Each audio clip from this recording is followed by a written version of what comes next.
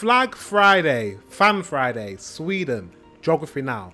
Without further ado, let's get into this reaction. Let's go. Flag slash Fan Friday. Hope you liked the Sweden episode. One small little mistake in the political animation. We accidentally mixed up the LAN versus landskap, the provinces versus counties. But you get the point. Oh, by the way, get a Geography Now mug or Geography Now merch at geographynow.com. Are you Team Hannah or Team Keith? Florida man, roll tide. it's not selling out if it's your brand. Anyhow, there was so much stuff we didn't have time to put in the episode. To explain a little bit more on the stuff that we missed in the episode, I promised Geography Rasmus he could do it. Rasmus, take it away. Hi everyone, my name is Rasmus and I've been waiting for this episode since Denmark. Now, hmm. dialects. Elvdalen is a northern dialect, also Älvdalen. only understood in the local area. And it might even stem from a completely different branch than Swedish. So, Oh, God, that was so quick. Elvdalen. ancient dialect similar to the Norse in the north. And people still speak this ancient dialect. Hmm. Do you know anybody? Let me know in the comment section. I have so many Swedish subscribers. Hello, love you guys uh, a lot. Um, do you know anybody that speaks that language? Let me know. Also only understood in the local area. And it might even stem from a completely different branch than Swedish. So, some fun facts. Candy Crush, Battlefield, and Minecraft are some Swedish produced games. And statistically, every eighth Okay. person in the world have actually played a Swedish game. North Korea once asked for a thousand Volvos in the 70s, and after receiving them, uh, they never paid back. So Sweden just keeps sending the bill over. It's about 300 millions of euros of worth. And here, blood donors get a text after the blood is being used to help. Swedish Forestry Act requires that if you fell a tree, you have to replant it. We invented oat milk. If you what a tree? If you if you if what? If you if you cut a tree down?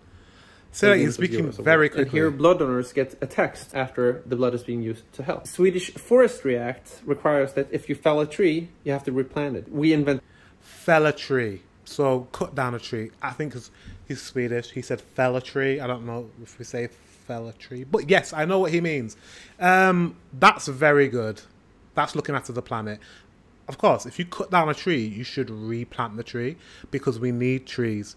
They provide oxygen. They clean the air, and um, I like greenery. So yeah, Oatly is Oatly from Sweden. Is Oatly from Sweden? invented oat milk. Absolut vodka is produced. Say that again. You invented oat milk. that if you fell a tree, you have to replant it. We invented oat milk. Absolut You invented oat milk. I, don't think you invented oat milk, but Oatly you've invented. I love Oatly. Oatly's everywhere as well. Oatly's in Thailand. Eh, Oatly's in Hong Kong. Oatly's in America. Oatly's in Britain. It's everywhere. So that's one of those brands. That's one thing the Swedes are good at. Is like you create a brand and that brand will be worldwide, like Spotify. Like it's just everything is just everywhere. Absolut Vodka. Also, a very gay brand is Absolut Vodka, so it doesn't surprise me it's from Sweden. Not saying that you're all gay, but you know, you've got quite. A, it's a good place for gay people.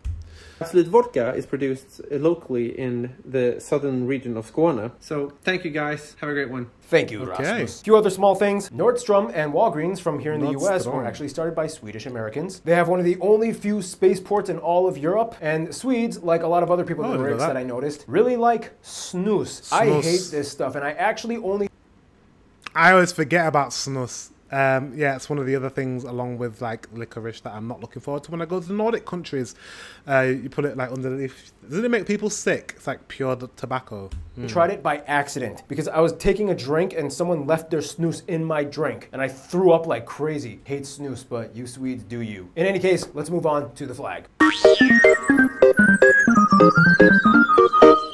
Sweden. This episode was so fun to film. I couldn't have done it without you guys, the Swedish Geography peeps. And also huge thanks to Carolina, Jonas, and Johan for being in it. You guys rock. Really appreciate it. In any case, let's move on to the flag. The flag is very simple. It's a yellow Nordic cross sprawled across a blue field. The yellow cross, mm-hmm. of course, symbolizes Christianity, and it follows the same sideways configuration format that their neighboring Nordic nations also have. Now, the exact mm-hmm. origins of the flag are shrouded in mystery. Many might quote the legend of King Eric IX, as he claimed while going into the first Swedish crusade crusade that he saw a yellow cross in the sky, hence the color yellow and blue. Others Yellow might say that it was just a knockoff of the earlier Danish flag. Either way, the first recorded document describing the flag dates back to 1562 with a royal warrant describing it and its colors. Some also might attribute King Charles VIII in 1442 for making it or Gustav I, but at this point nobody really cares anymore. Now of course throughout history they had different variants of their flag. For example, from the 14th to the 16th centuries they were under the Kalmar Union in which pretty much all the Nordics kind of joined together as one unit. Then in the 1800s they took over Norway and they had this flag. Then later on they switched to this. Wait, the Norway, the Norway flag really was in the corner like that. wow. 1800s they took over Norway and they had this flag. Then later on they switched to this confusing flag. And I don't like that. finally back to the good old yellow and blue. And Clean. speaking of complicated, the coat of arms is going to be a nightmare, but let's see what we can do. Now, the coat of arms of Sweden actually has a greater and lesser version. The greater version contains this mantle with royal drapes and a crown. But if you take that off, you have the main chunk of the image. Two lions holding the sides of the shield, symbolizing courage, valor, strength, royalty, all that stuff. It's a bit like our coat of arms. It's very similar. Surrounding the inner shield is a collar with the Order of the Seraphim, the highest medal of honor in Sweden. Now, the shield on the interior has so much on it, but to summarize without boring you too much, it basically just displays all the heraldic imagery of Sweden's historical royal households. The very simplest coat of arms you will see of Sweden, though, is this one, the Three Crowns shield. Three Crowns image is also kind of shrouded in mystery and only has suggested origins. Some claim it's the crowns of the three wise men in the story of Jesus' birth. Others say that Albrecht of Mecklenburg, king of Sweden, brought it in in the 14th century. Again, no one quite knows, but it has been a symbol of Sweden nonetheless for centuries and is proudly displayed Wow. in many scenarios, such as the jerseys of their national ice hockey team. Fun The way the three crowns. Love it. Okay. In fact, St. Barthélemy, which is now a French overseas territory, used to be a Swedish territory, and you can even tell within their flag it has the three royal crowns on it. You know, kind of like alluding to their former colonial status. In any case, that's about it, which means now we move on to the next part. You know what it is? It is Geography Fan Mail time. All right, guys, welcome back to Fan Friday. As you know, we always have to have guest stars. Guess who it is? Oh, it was the guys in the Sweden episode. We got Carolina and Jonas. Say hi. Hello. Oh, and we got Turchin too, I guess. He wants to be in this video. Oh. Well, uh, you guys have never done this before. Oh, the Sweden flag is falling. But very simple. Just grab something and uh, enjoy. Uh, just say whatever you want. This one is from JJ from Rowland Heights, California. JJ has actually sent stuff before. I remember you. No letter. And he sends a bunch of these postcards, but there's nothing written on them. Uh, Brunei.